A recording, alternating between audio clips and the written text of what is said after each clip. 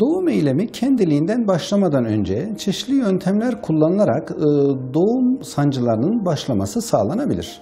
Bunun için çok değişik yöntemler ve ilaçlar olsa da e, serum içerisinde oksitosin dediğimiz ilacın çok yavaş bir şekilde damla damla e, anne adayına verilmesi halk arasında suni sancı olarak bilinmektedir.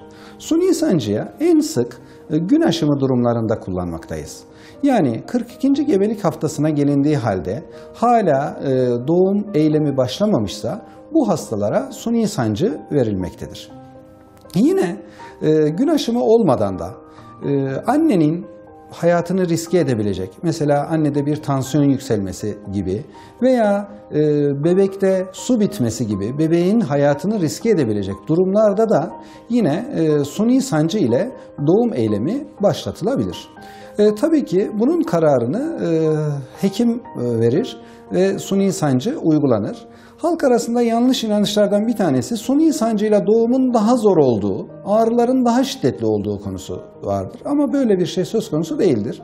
Ağrı daha şiddetli olmaz. Yalnız e, rahim ağzı hazır olmadan biz zorladığımız için, sancılarla zorladığımız için doğumun bir miktar daha uzun sürmesi, eylemin biraz daha uzun sürmesi söz konusu olabilir.